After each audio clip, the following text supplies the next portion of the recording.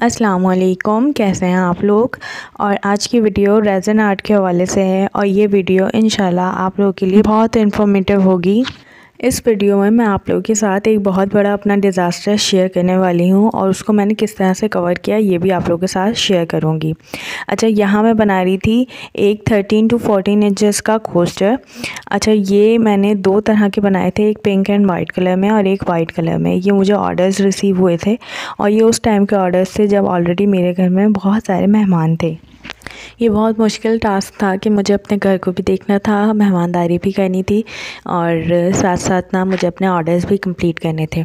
यहाँ फ़िलहाल मेरे पास तीन कोस्टर्स हैं। दो कोस्टर्स जो हैं वो थर्टीन टू फोर्टीन इंचेस के हैं और एक कोस्टर जो था वो फाइव टू सिक्स इंचेस का कोस्टर था। इसकी बेस मैंने मामा के घर पर तैयार की थी क्योंकि मेरे घर पर मेहमान थे और ना ही जगह थी और ना ही वक्त था। तो मैंने थोड़ा सा टाइम निकाल कर मम्मा के यहाँ जाकर इसकी बेस तैयार की थी।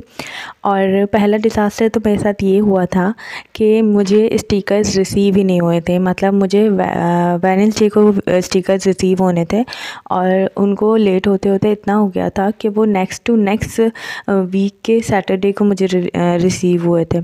अच्छा ये एक बहुत बड़ा टास्क था। मुझे अपने ऑर्डर्स टाइम पर डिलीवर करने थे। ऑलरेडी काफ़ी लेट हो गए थे।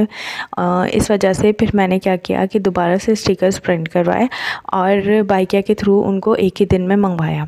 अब यहाँ पर बारी थी इन स्टिकर्स को पेस्ट करने की।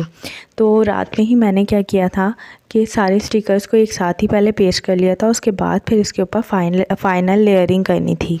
मतलब मेरा सारा काम कंप्लीट था, बस स्टिकर्स वगैरह मैंने पेस्ट कर दिए थे लास्ट लेयरिंग का टाइम था, और वहाँ पर मेरे साथ हुआ एक बहुत बड़ा भंड। मैंने क्या किया कि दोनों बड़े कोस्टर्स के लिए मैंने एक साथ ही रेज़न जो है बना लिया, और क्योंकि आजकल मौसम सर्द है तो इसीलिए रेज़न जो है वो बहुत जल्दी हार्ड हो जाता है।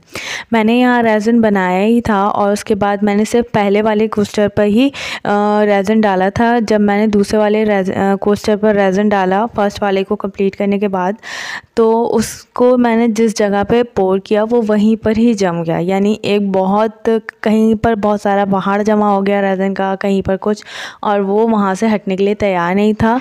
वो बिल्कुल चिपचिपा सा हो गया था और वहाँ पर ही जम गया था।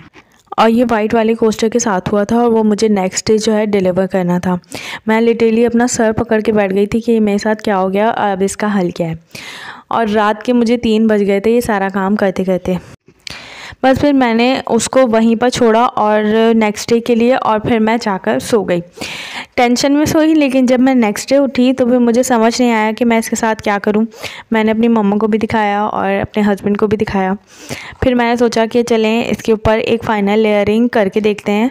आ, मतलब कि इसके ऊपर जो रेज़न की मैं लेयर डालूँगी वो मैंने बहुत ज़्यादा डालनी है ताकि वो जो एक रेज़न पोर किया था और जहाँ पर वो जम गया था वो लेवल उस लेवल तक आ जाए मेरी फाइनल लेयरिंग जो है पूरी? ये मेरा एक बहुत बड़ा रिस्क था और मुझे पता था कि अगर इस चीज़ से मेरा मसला हल नहीं होता है तो इसका मतलब है कि मेरी सारी मेहनत, बहुत सारा रेज़न और स्टिकर्स वगैरह सब कुछ वेस्ट हो जाएँगे। खैर फाइनली मैंने नेक्स्ट डे जो है ये वाला काम किया और उसके लिए मैंने तकरीबन वन वन फिफ्टी ग्राम्स जो है दोबारा से रेज़न तैयार की और उसके ऊपर पोर की। यानी कि अच्छा खासा रेज़न मैंने फ़ाइनल लेयरिंग के ऊपर लगाया था। आ, लेकिन अल्हम्दुलिल्लाह अल्हम्दुलिल्लाह नेक्स्ट डे मुझे उसका रिज़ल्ट ऐसा मिला कि जब वो ड्राई हुआ तो वो बिल्कुल एक लेवल में आ गया था। मेरा जो भी डिज़ास्टर हुआ था वो सारा कवर हो गया था और मैं जो है थोड़ा सा सेटिस्फाई यूँ हो गई थी कि शुक्र है कि मुझे दोबारा से मेहनत नहीं करनी पड़ी दोबारा से अपना सारा मटेरियल नहीं लगाना पड़ा। और ये अल्लाह का बहुत शुक्र हुआ कि वहाँ पे मेरा ये सारा काम जो है वो फ़िक्स हो गया। तो जो यहाँ पर रेजन आर्टिस्ट मेरी ये वीडियो देख रहे हैं, उनके लिए यहाँ मैं कुछ टिप्स आप लोगों के साथ शेयर कर रही हूँ। पहली टिप ये है कि जब भी आप लोग रेजन का काम करें तो कोशिश करें कि दिन के टाइम पे करें, रात के टाइम पर अवॉइड करें इस मौसम में। क्योंकि रात के टाइम पे रेजन जो है, वो सर्दी की वजह से बहुत ज़्यादा गाढ़ा हो जाता है और उसको डील करना आसान नहीं होता बबल्स बहुत ज़्यादा आ जाते हैं।